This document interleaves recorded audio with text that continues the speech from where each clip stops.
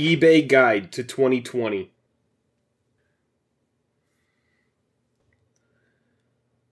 Ugh. If you clicked on this video, it's because you're interested in MTG and eBay. Maybe you've seen the great deals that you can find, but you're also a little bit leery because you've heard that people have been screwed over. Or maybe you are well versed in eBay and you're just here to listen to what I have to say and compare notes. Either way, you're in the right place. The video starts right now.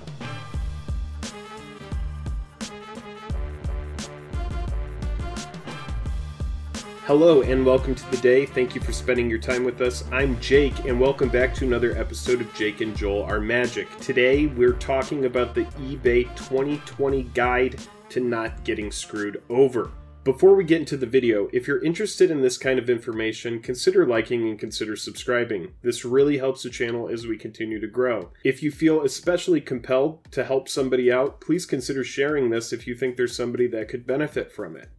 At Jake and Joel, we cover a lot of different formats of MTG. On MTG Arena, we cover Brawl and Standard. We also cover Commander and Pioneer. If you're interested in MTG news, or you just want to watch us crack some packs, consider subscribing as well. So here it is, the 2020 guide to eBay and not getting screwed over or scammed. Really quick, I'm not going to be covering taxes. I'm not going to be covering international shipping. I'm not going to be covering returns or like how to do packaging.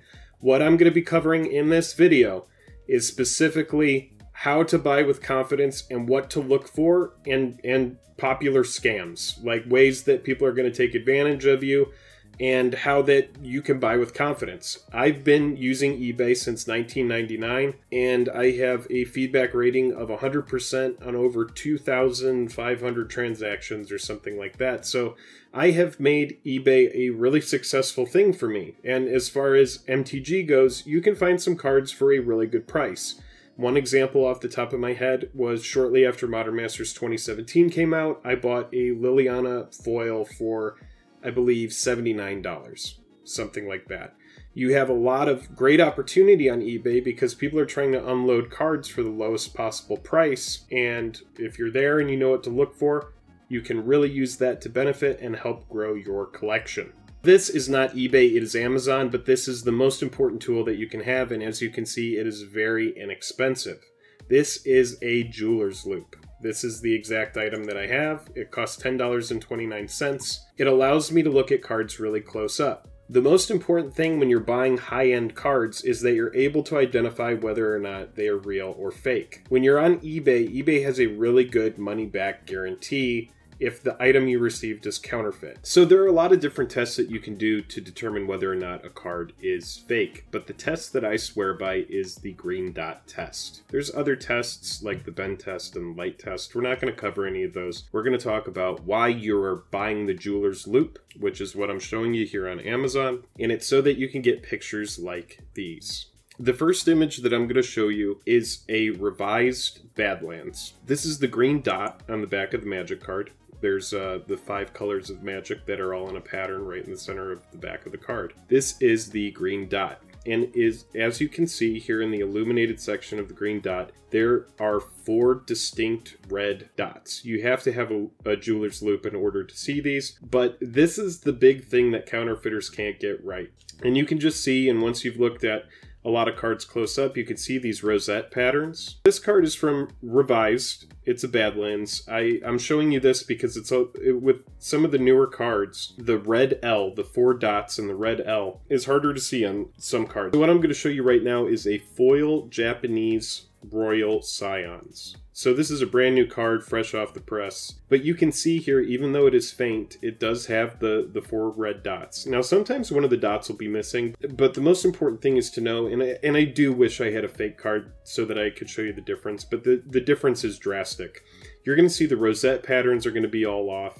Uh, these, what I mean when I say rosettes is it's this this section, these distinct patterns one thing that you can do to make sure that you're not getting screwed over is to carry cards in a binder. Like if you're trading for something from alpha or beta or unlimited, something old, then have an old jank card. Have a common or an uncommon, something where you can bring out your jeweler's loupe and you can compare it side by side. You can go, oh, the the rosette patterns match here, or honestly, the green dot test is the the tried and true. It's what I always look at first. I'm like, oh, I see the four distinct red dots. That's a-okay in my book. We're good to go. Let's go ahead and talk about our bootleg MTG. Now, I did a video on these guys. If you want to watch the video on it, uh, I'll go ahead and throw it up in the cards right now. But we're just going to go over there and very briefly, I'm going to show you why you need to have a jeweler's loupe, even if you're trading at your LGS. On Reddit, that is our bootleg MTG. This is a community of 8.9 thousand members. But uh, let's just go to new, using a barbecue smoker to yellow slash age cards. I, I haven't even been to this site today, but what I can tell you about these guys is um, some of the players here are are here for kitchen table purposes. They just want high quality proxies that they can play uh, at their kitchen table. But a lot of the people are what is more passable, the BL Liliana of the Veil or the UC Wrenn and Six. BL is one of the sellers, and UC is another one of the sellers. These are bootleggers that make popular cards, but just know that the fakes the fake cards exist at pretty much any rarity. You may you may have clicked on this video and you're like, oh, I'm, I'm pretty sure the only cards that get counterfeited are, you know, Power 9 or old vintage cards. That's not really the case. People are always looking for cheap versions of, of what is passable. A lot of the people at our bootleg MTG are here that are trying to acquire cards so that they can play in real money tournaments, cards that aren't going to be detectable as fake when being played in sleeves. So if you want to check out our bootleg MTG, I, I threw that video up in the cards or you can search for it. But that's it. You just need to know there are Modern Horizons, brand new cards. They've already talked about uh, counterfeiting secret layer cards. They've already counterfeited the borderless extended cards from Throne of Eldraine. So just know that that exists, and just because a card is newer doesn't necessarily mean that it's authentic, which is why you need the Jeweler's Loupe. It's the best $11 investment that you're ever going to get off Amazon. Let's move away from our bootleg MTG and let's go back to eBay. So I just talked all about the Jeweler's Loupe. Let's go in and search for a popular card. Let's say MTG Scalding Tarn. What I like to search in my filters is buy it now and then lowest price plus shipping. That's going to show you for a shipped price what card is the cheapest. I don't know why. Oh, because this is sponsored. All right, so here's the cheapest Scalding Tarn after shipping. Modern Masters 2017. We go in here and we look, this is a new seller okay? This seller is 100% positive feedback, but only on four transactions. But then when we go in here, we see, oh, Verdant Catacombs, Scalding Tarn, packed and packed well, extremely fast shipping. Uh, so this checks out. I would be able to buy this card knowing, okay, I'm probably not going to get sent a fake card. So when a seller has a 100% feedback rating, that means that you can most likely buy the card and feel satisfied. And that's as simple as clicking on the user over here, the seller information. So you, you've came here, you've clicked on Scalding Tarn, and now you've come over here, you see the seller info, you click on them, and then you can review their feedback. That's the very first thing that I always do when I'm buying cards is I look at the feedback rating. If the feedback rating is 100%, most likely it's going to be legit. So now I want to talk about a, a, seller, somebody who takes advantage, and we're going to continue talking about feedback rating. So let's go into my saved sellers, and it's One Up Gaming. So they're no longer a registered user which is actually great. It's not great for the video, but it's great for the community. Uh, I was going to show you what they were doing as far as um, scamming people. I may still be able to show you uh, exactly what they were doing, but essentially, I want to talk about that number, that feedback rating number. So here's the thing this person has a 91.5% feedback rating, okay? So if you're new to eBay, you may see that and be like, oh, that's like an A, right?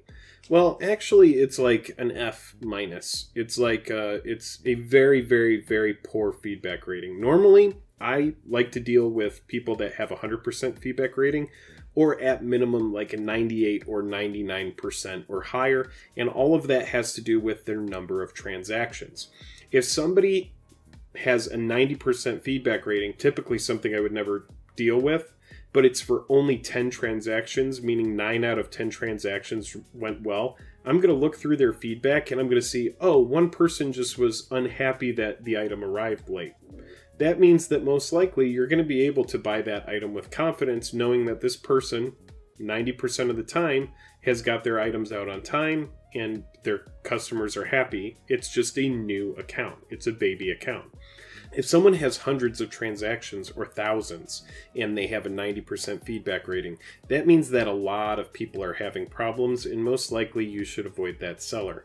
So let's go in here. One Up Gaming has 91.5% positive feedback. So I've just told you, and based on what I've said, like this is a really, really poor feedback rating.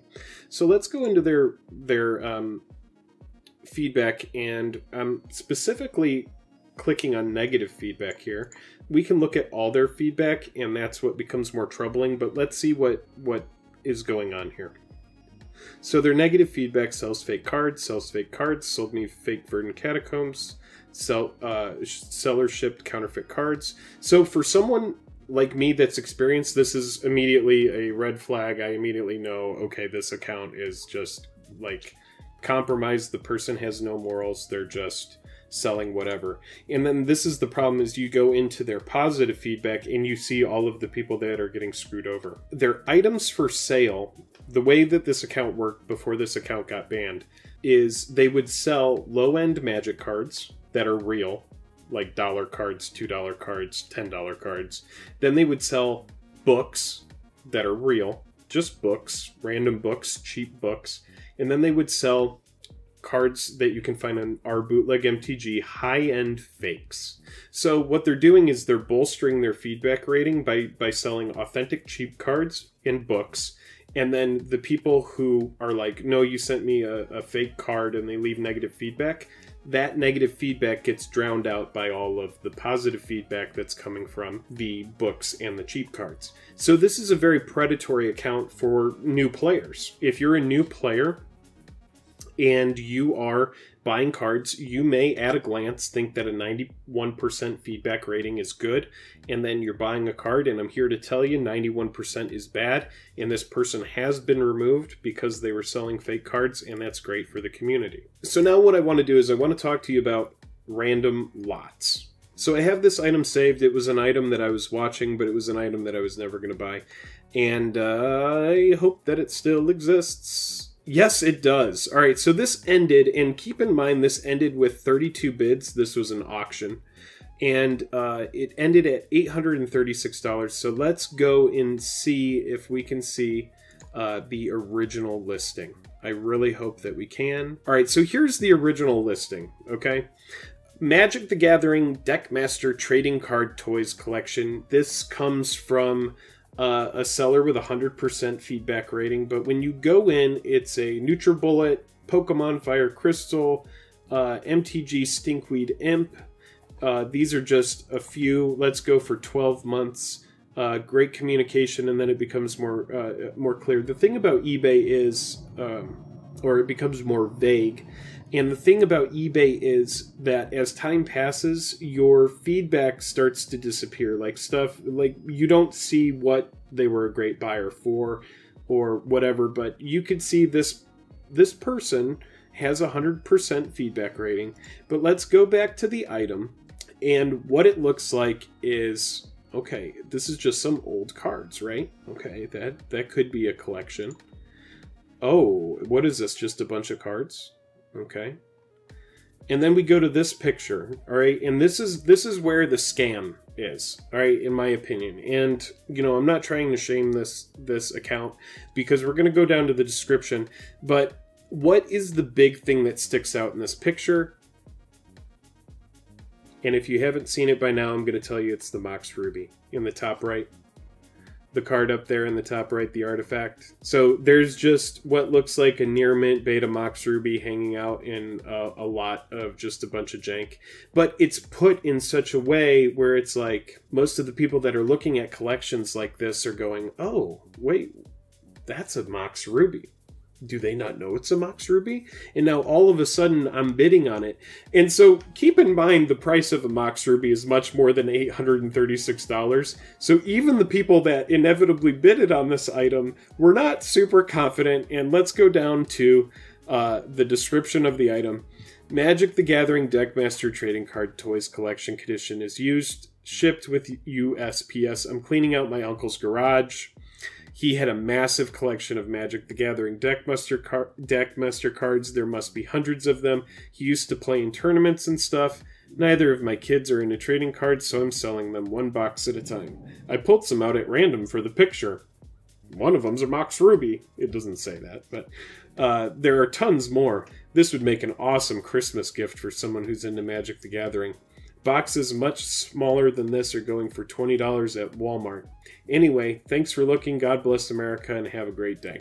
Okay? So they do an update on October 12th.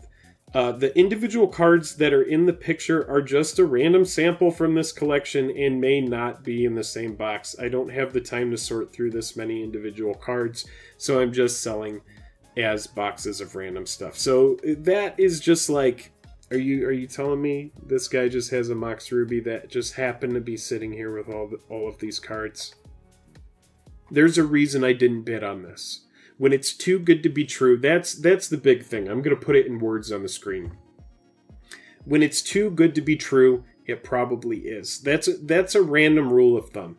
As you scour, like one of the things that I like to do is I like to save the the search Magic the Gathering Deckmaster cards.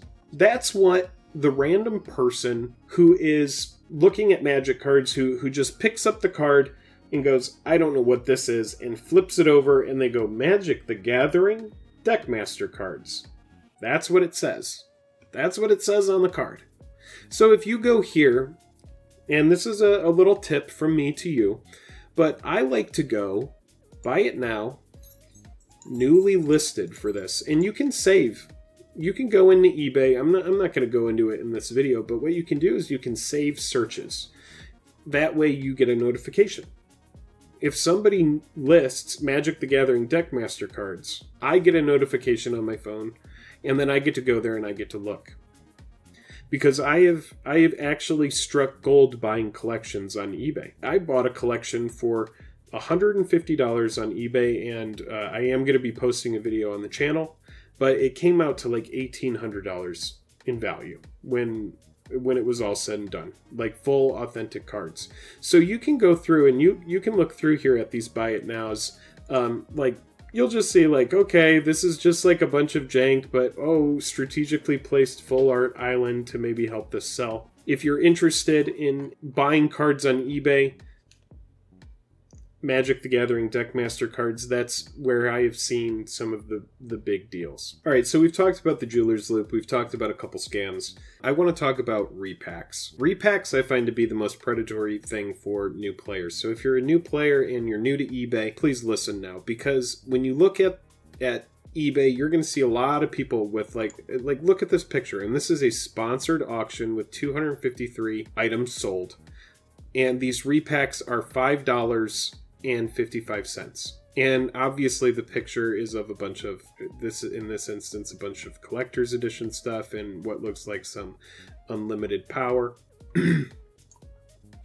and then just like a bunch of random jank and then like a picture of like they went to their local game store and just took a bunch of pictures of really high-end stuff. And then they're going to have a robust thing about each repack contains this and this and this and if you buy five or more, you get an extra.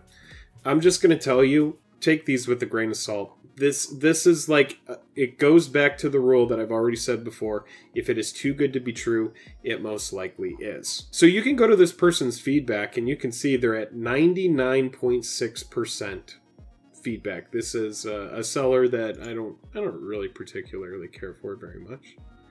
But let's go to their uh, so we see their their positive feedback random pull. Great seller. Item is described. Paid $16 for $3 worth of cards. It's a lottery. It is what it is. The proof is in the pudding. There's going to be people that leave positive feedback, but they're like, oh, I didn't pull anything good. Foil, 50 cent. Rare. Card came as described. Did not get much value. As as a player, let's go to the negative here. Actually, let's go to negative and neutral. Here's neutral. Was it worth the value? Arrived in good shape. Thanks. Lotto didn't hit. I felt misled and spent way more for pulling than actual value. Good luck. Didn't expect anything good, more bothered by the condition, good communicate good communication. I just had zero luck is all. 40 bucks and no card over 50 cents or or anything interesting. Not what I expected. Eh, okay, cards. I got a weak 32 cent foil. Was worth the risk. Uh, I should have caught this one. My fault. Didn't expect much, didn't get much. So you can see, like, this this seller is posting pictures of power, but they're never going to give you power.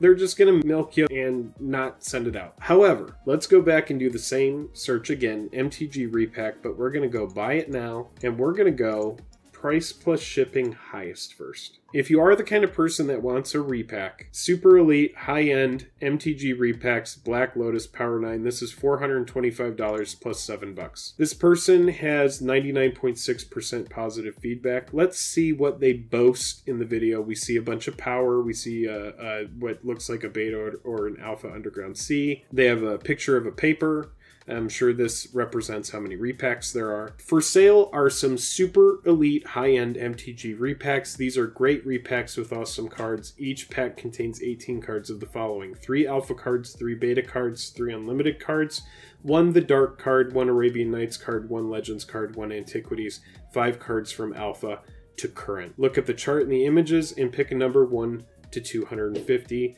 They also have a buy 3 get 1 free. Send me a message, a message with your number and your purchase. 1 in 20 repacks contains a Power 9 card, and some contain a PSA or a BGS graded card, some repacks in addition. So even though this is very expensive, I would have more confidence purchasing this. Let's go into their feedback. So Alpha Berserk, as advertised, buyer beware, better odds with lottery. Yes, yes, it's going to be the same kind of stuff. Awesome deal for amazing seller. Fast shipping, modern staples in stated light player exit X condition. Let's go to the good repacks as usual. Repacks, great buy, excellent cards, and quick delivery. Would recommend. I'm only reading repacks, the 425 here. Good cards, fast shipping, good packaging. Arrived on time and seller, has very open communication. Nice guy, great cards. And what we're looking for here is we're trying to find did somebody pull something good? Four packs, best card is a heavily played beta, BK, AB cards, alpha and beta cards, all in HP, multiple duplications. This person got a beta white knight. Honestly, though, even, you know, after trying to give them the benefit of the doubt because it's expensive, it still seems like just so dicey. So if you are going on eBay, you're going to see a lot of people that are going to offer like too good to be true kind of scenarios. And I'll, I'll say it again. If it's too good to be true, it probably is. So you found a high-end card on eBay and now you're ready to purchase it. This is what you need to do. Click on the card. Look at the seller. 100% positive feedback rating, most likely. You're not going to get screwed over. Gaea's Cradle, light played and played, uh, moderately played Urza Saga, Magic the Gathering reserve list, condition is used shipped USPS first class package. So USPS first class package is going to ensure that your item is tracked when it is shipped. And that's going to be really important. And we'll talk more about like when you're a seller toward the end of the video. We'll briefly go over a couple of those things. So say this item was being sold by this seller, but they don't have a 100% feedback rating. This is when your jeweler's loupe is going to be important, and you may want to reach out to them. You'll be able to click on their name, you look at their items for sale, go to their Gaea's Cradle. This is the item that we want to buy, hypothetically, and we're going to contact the seller. So now we can ask them questions about this card. We can ask them for details, shipping questions. I can just ask them details about the card, and say they didn't have a 100% feedback rating. I would say, okay, let's uh, let's contact the seller. And now I'm going to say, would you kindly send me a picture of the green dot using a jeweler's loop? And then if this seller knows anything about authentic magic cards, most likely they're going to be able to provide that picture to you. They give you an option to add photos here.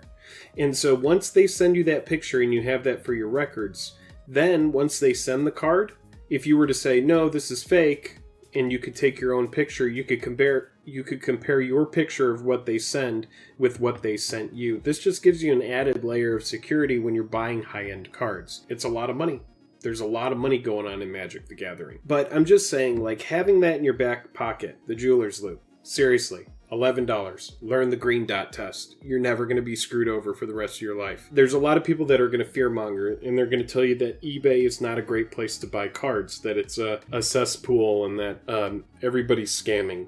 And I can tell you with confidence, in, in years of experience, that if you know what to look for and you know who to deal with, you can find some amazing deals on eBay and great ways to grow your collection. A lot of the time on eBay, people are selling cards for way under the market price just because they want to move something. And you have the opportunity to find random collections that can really be just like there's tons of hidden gems. Really quick before we end the video, I want to talk about things that you need to remember as a seller. If you are trying to sell cards on eBay, this is what you need to know. The most important thing is to ship your item with tracking. If it is an expensive card, and you need to determine to yourself what you believe expensive is. For me, particularly, if I am shipping a card to somebody that is $20 or more, I am going to send it first class package with tracking. Now you can do that at the post office. You could tell them, I want to ship this item first class package with tracking, or you can go on PayPal where you could save some money and do it on there. I'm not going to show you how to ship the item. There's plenty of tutorials. But if you go on PayPal, you're going to end up sa- saving about a dollar on the shipping cost and you're going to get the same service. So, if you are shipping cards that are high end, I do recommend you save money by choosing PayPal. You can print your own shipping label. You could do all of your packaging at your house, and then when you get there, you could just drop it off and you've saved money. What the tracking does is it's going to allow you to see when the item is delivered. I have, and this is really sad, but I have sent out a Mox Opal. Uh, at the time I sold it, it was about $65 and I sent it out in a plain white envelope with just a stamp. Even though I don't believe them, the seller claimed the item never arrived, and I had to, because I could not provide tracking, I had to refund them $65 and eat the loss. So always remember, if you're selling high end cards, track them. Nine times out of ten, nothing's going to happen. I have one instance where I sent an item and I know it arrived, and still they claim that it didn't arrive and so it is it is what it is that is just the cost of doing business sometimes mail is going to get lost but you would rather lose a $10 card than a $100 card and then have to refund that money. It's a lot easier to refund $10 than it is to refund $100. So I'll very quickly talk about how I ship my cards. That way you know the best way to just send a card out. If I'm sending a a cheap card, I'm going to send it in just like a small envelope with a stamp. What I like to do is I like to take some packing tape and I like to take a, a piece and I like to fold it over each of the corners. Uh, some people have complained an envelope has arrived ripped. I didn't get any bad feedback for it, but they left me a note in the feedback, and ever since then, I always put packing tape over all the corners just to prevent ripping. I also put a piece of tape over the the address as well. That way, if water, if it's like a rainy day, nothing's going to smudge the address and it's going to make sure that the item makes it. These are Ultra Pro penny sleeves. This is a top loader. This is a bubble mailer. Okay, this is just a, a small bubble mailer. This is what I like to do for high-end cards. I like to put a card. Let's go this card. Boom. I like to put the card upside down in a penny sleeve, and then I like to take the card in the penny sleeve put it in the top loader. Once we have it like this, I like to take some scotch tape, tape it just straight onto the back. But then what I like to do is I like to fold this over. I create a pull tab for my my uh, buyer. That way when they get the card, it arrives like this. It's not moving around in there. I like to put the card in the top loader or in the uh, penny sleeve upside down. That way the top of the penny sleeve is protecting it. If the card moves around in shipping, the top of the card isn't going to hit into my tape. The top of the penny sleeve is protecting it from doing that. I just put it in just like this. A person would have to be seriously insane. Sometimes I get cards that arrive and they're taped up in a bunch of cardboard. Like, you don't have to do that. This is enough. The card is in a top loader, it's in a penny sleeve, there's a piece of tape protecting it from moving around. When they get the card, they could simply use this pull tab it's easy. Now I don't have to pick at a bunch of tape. I don't have to try to pull the top apart to, to break the tape across. Like, it's just, it's good to go. It's user friendly. There's a pull tab. Same thing with this that I talked about with the other envelope. I like to seal this and then I like to put tape across the address. I put tape over my address, the return address, and then also over the the address that I'm shipping it to. And then the thing is is you can print like I've talked about the PayPal shipping and you can put it right on this, tape it up. You've already paid for the shipping. You can take it right to the post office and you can just put it in the drop. Easy peasy. So that's how I ship my cards. So in this video, we've talked about some important things. We've talked about a jeweler's loupe. We've talked about a couple different scams. We've shown you a user that's been removed because of how they uh, how they scammed people. We've talked about repacks and how they're predatory. I've talked about something that you can do as a seller to make sure that you ensure that you see when the item arrives, talking about tracking it and first class packaging. I've shown you how I package my cards.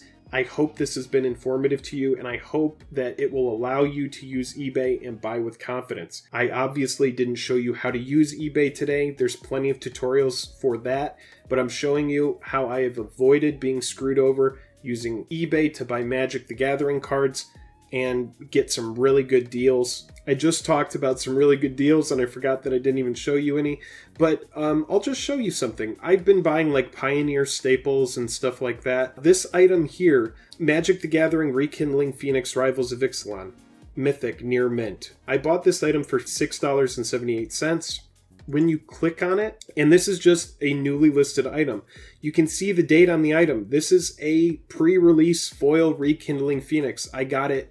It was priced at three dollars. I bought it for three dollars, and uh, after shipping, it was six dollars and seventy-eight cents. That's just one example off the top of my head. Um, I paid like 93 for borderless Oko uh, foil, but you could just buy things on the on the low on eBay. You can just find like I bought Spirebluff Canal for five dollars and ninety five cents, right in the middle of Pioneer where it's blowing up and becoming a ten dollar card. And so you can see, and there's certain times to buy. I'll make a video on like when to buy certain cards and stuff like that. We're not going to cover it in this video. So I do hope this video has been informative. I hope that you can buy with confidence after watching. If there's anything specific that I didn't cover, please let me know in the comments. And if there's anything specific that you need to know about eBay that maybe I didn't mention, please consider also, you know, reaching out to us via Twitter or again in the comments. I will get to every single comment, I promise. Please consider liking, please consider subscribing. If there's someone out there that you think would benefit from this information, please consider sharing it to them. Joel and I stream on Tuesdays and Thursdays. We also have a Patreon where you can support us as well. Make sure you check in with our bootleg MTG to keep up with what cards are being counterfeited and when. I know I didn't cover everything, but I hope this is at least a good starting point for you and your expeditions buying amazing luxury cardboard on the Bay of Ebes. The eBay. I'm sure there's something else I'm forgetting, but dude, I'm tapped out. It's over. The video's done, okay? Go find something else to watch.